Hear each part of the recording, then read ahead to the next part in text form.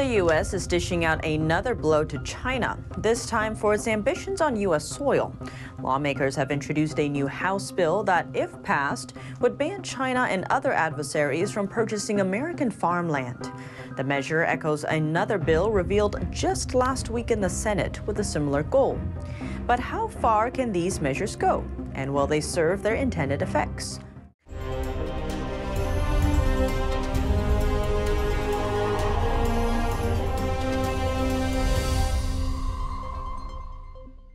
Welcome to China in Focus. I'm Tiffany Meyer. Beijing's efforts to buy up U.S. land are taking another hit. On Monday, a House lawmaker presented a bill that would ban China and other adversaries from purchasing American farmland. Representative Mary Miller is backing it. Here's more. It's called the Saving American Farms from Adversaries Act. It would prohibit foreigners from buying public or private land in the U.S. for five years. This is Miller's first bill in the new Congress. The Congresswoman says America is on a dangerous path of losing self sufficiency in farming, and that Congress must respond to the economic and national security threats posed by China. Another related bill hit the Senate floor last week. Sponsored by Senators Mike Rounds and Jon Tester, the bipartisan bill would block China, Russia, Iran, and North Korea from buying or leasing U.S. farmland and agricultural businesses. Speaking on the evening edit with Fox News, Senator Rounds explained that food security is national security and added that the Chinese Communist Party has increased their holdings of farmland outside of China by a thousand percent in the last few years. They own 1,300 egg processing facilities outside of China at a value of $35 billion. But there's another concern. Even bigger than food security is the issue of national security, as some farmland China has bought or is trying to buy are near critical U.S. military bases. In response, 22 U.S. states are either taking or considering measures to restrain foreigners from buying farmland. That's nearly triple the states taking similar initiatives two years ago. The new Congress set up a bipartisan select committee on China last month. High on its to do list is reviewing China's ambitions on U.S. soil. The alleged Chinese spy balloon has been shot down, but the questions surrounding it are still hovering over the United States.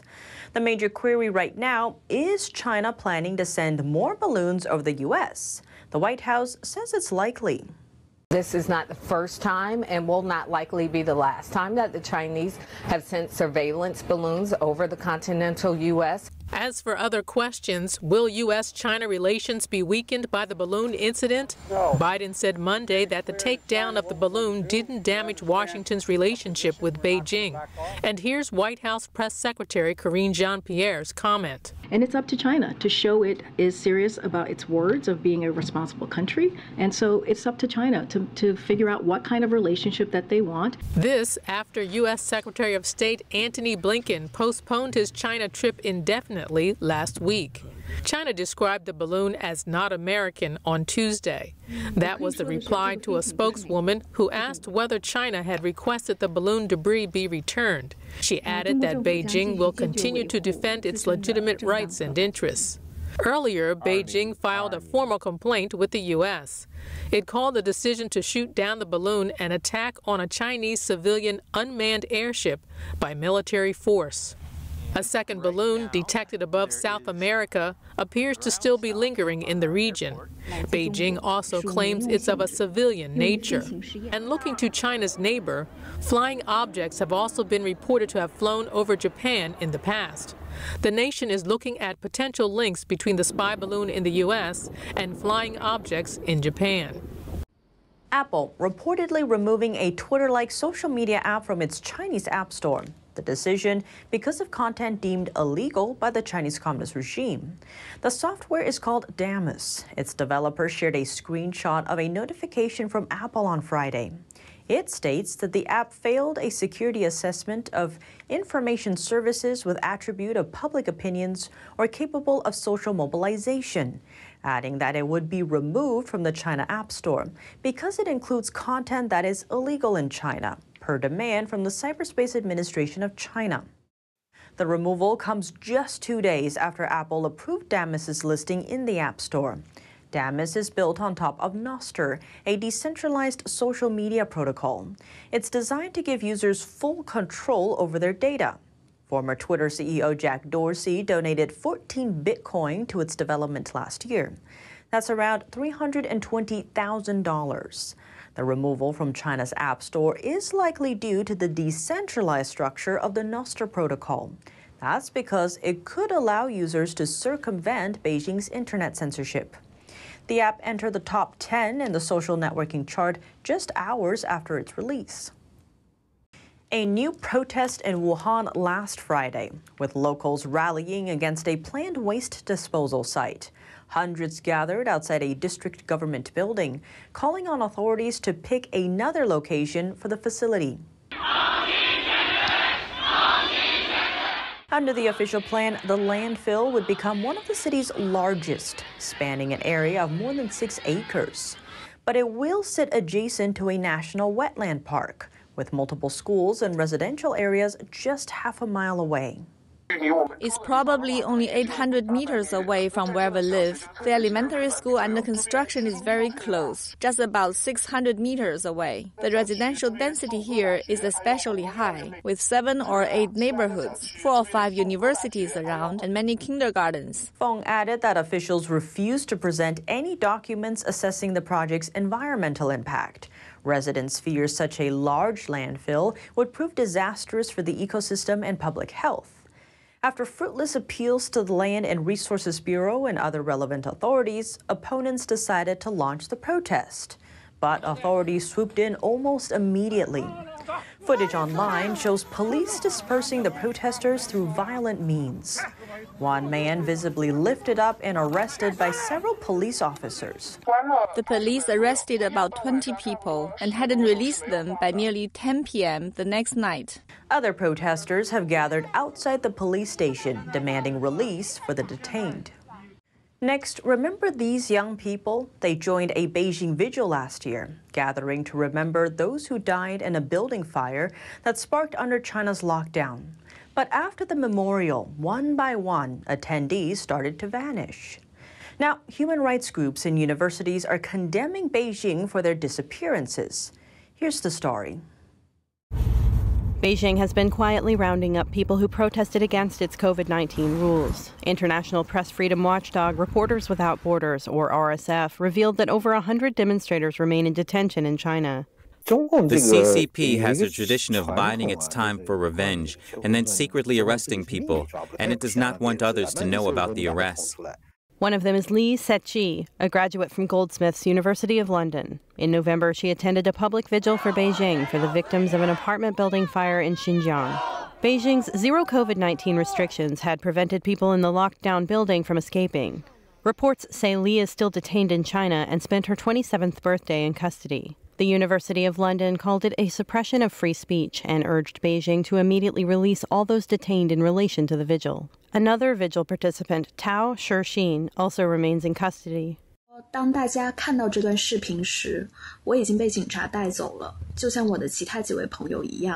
She recorded this video after her friends and fellow vigil joiners started disappearing one by one. 不要让我们不清不楚地消失在这个世界上，Former journalist Qin Ziyi also got arrested. Her alma mater, the University of Chicago, called for her release. And she was let out on bail last month. It's difficult to estimate the scale of the arrests, as relatives of the detainees refuse to speak out for fear of more serious retribution. New evidence is calling Beijing's latest virus death count into question. China's CDC added more than 3,000 to the country's COVID 19 death toll. That was during the week from January 27th to February 2nd. The figure brings the country's official total to over 82,000. But a survey by the Epoch Times shows that actual death in just one city may far exceed that number. The report cites 15 funeral homes in Shanghai that run at least 80 cremation furnaces, with 33 bodies cremated per furnace per day. There were at least 160,000 local deaths in the 60 days after China's zero COVID 19 policy was lifted. This without counting the unburned bodies piling up at funeral homes. The largest crematorium in Shanghai told NTD that it now takes more than a month before ashes are ready for pickup. You have to wait a month to collect the ashes. It's not possible to do it faster. Previous remains must be dealt with first. Residents in Shanghai say the wait time used to be about an hour. Funeral homes work in three shifts, 24 hours a day. That's still too slow. In times of high demand, they may even burn two bodies together, and it still takes a couple of months to return the ashes. By then, customers will wonder if the ashes are even their loved ones. I went to the funeral home and saw the dead piled up in batches. Some say they burned two to three bodies at once. People were told to wait half a month before they can collect the ashes. The problem is, you don't even know whose ashes you'll be collecting. Is Facebook handing over American user data to Chinese companies? U.S. Senators Mark Warner and Marco Rubio have some questions for Meta CEO Mark Zuckerberg. They want to know if Facebook developers in China and Russia have access to certain user data. Here's the latest. The bipartisan pair say they have an internal Meta document that reveals that. Their offices released their letter to Zuckerberg yesterday. They wrote that the document shows 90,000 developers in China had been given access to sensitive user information. That includes private messages, profile data, and photos. That's despite Facebook never being able to operate in China. The senators say over 42,000 developers in Russia had access to the information, and thousands in Iran and North Korea. They say Facebook appears to have known since at least 2018. Facebook did not immediately respond to a request for comment. It's still unclear if the Facebook data in question is related to American users. Is China helping Russia in the Ukraine war? Experts say Beijing is sending military technology over to Russia. Gear like fighter jet parts, navigation equipment, and jamming technology. All in violation of sanctions. Let's take a closer look. The Wall Street Journal looked at over 84,000 shipment records. Tens of thousands of those shipments contained products that could be used in the military. We talked to international politics expert Anders Corr. Russia depends on complicated navigational uh, computer chip parts for all of its weaponry, whether that is, uh, you know, smart bombs, uh, cruise missiles, uh, jet fighters, um, and the US and Europe have sanctioned those items to try to stop the production of uh, uh, Russia's bombs and, and delivery systems. Uh, so when China steps in uh, with those products, China is enabling the Russian regime in a direct way some examples include China's state-owned aircraft firm AVIC, which shipped $1.2 million worth of fighter jet parts to Russian defense firm Rostec. There's Chinese state-owned defense firm Poly Technologies, which gave military helicopter navigation equipment to Russian state-owned Rosoboronexport. There's Fujian Nan'an Baofeng Electronic Company, which sent communications jamming equipment to Rosoboronexport. We talked to someone from Ukraine, economics professor Roman Sheremeta. He believes this is just business as usual for China. Businesses are driven by self-interest, right? So if um, since Russia is not getting technology and uh, equipment and things necessary for war anywhere else, the Russia is willing to pay a significant premium to get those technologies and th- that equipment. And so obviously you know, uh, for somebody who is doing business who is after the profit, it's a very lucrative option. Sheremeta says that if these reports are confirmed, China may face consequences, and these consequences could greatly harm China's export oriented economy. We spoke to foreign policy expert Harley Lippman, who says the U.S. needs to put pressure on China. The United States has a number of economic levers that it could use with China. I mean, China still needs the United States to buy, purchase its goods and to operate in the world economy that it does. The United States is still the largest market in the world. It needs the United States and it needs to uh, do business with Western Europe. That means that the United States and Western Europe has leverage. We could apply pressure to China U.S. Secretary of State Antony Blinken was supposed to go to Beijing this weekend and discuss China's relationship with Russia. But because of the Chinese surveillance balloon caught floating in the U.S. airspace, the meeting has been postponed to an unknown time. That's all for today's China in Focus on YouTube. We're now sharing a shortened version of our program here after being demonetized for two years. Here's what to look out for in our second half. Do problems in China really impact Americans?